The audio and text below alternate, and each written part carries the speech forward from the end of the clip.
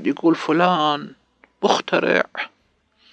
البشرية مليارات الناس استفادوا من اختراعاته. الجواب اولا هو قبض فلوس أمام اختراعاته. فحصل ما يريده. والناس تمدحه الأجيال القادمة في الدنيا. هذا أجر.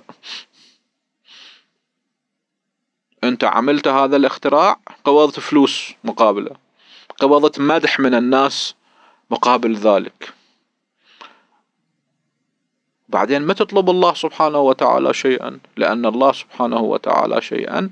لأن الله سبحانه وتعالى اشترط أعمالا واشترط في تلك الأعمال شرائط حتى يعطي الثواب.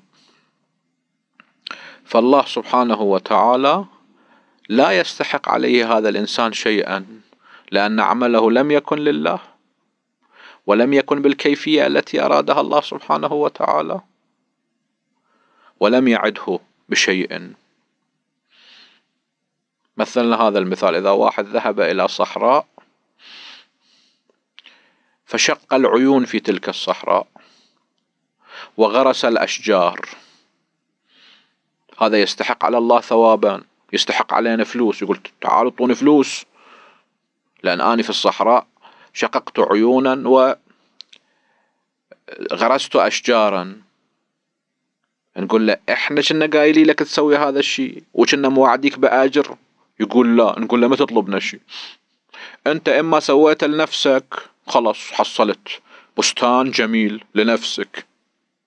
وحتى إذا سويت إلنا هذا كان لم يكن بإذننا فلا تستحق علينا شيئا لأننا لم نقل لك ذلك لم نأمرك بذلك فلا يستحق على عمله شيئا.